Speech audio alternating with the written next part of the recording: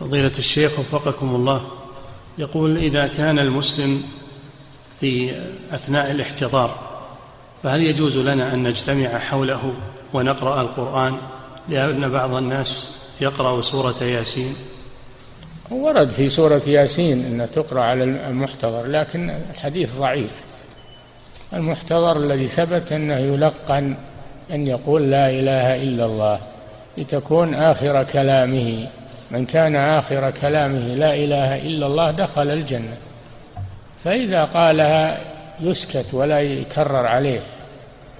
إلا إذا اشتغل بعد ذلك بشيء آخر أو تكلم بكلام فإنها تعاد عليه بلطف ورفق حتى يتذكرها ويعيدها. نعم.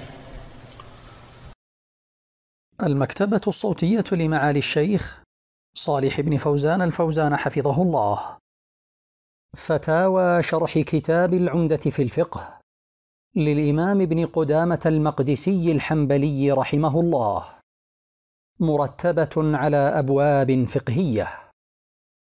إعداد مشروع كبار العلماء بالكويت أعزها الله بالتوحيد والسنة.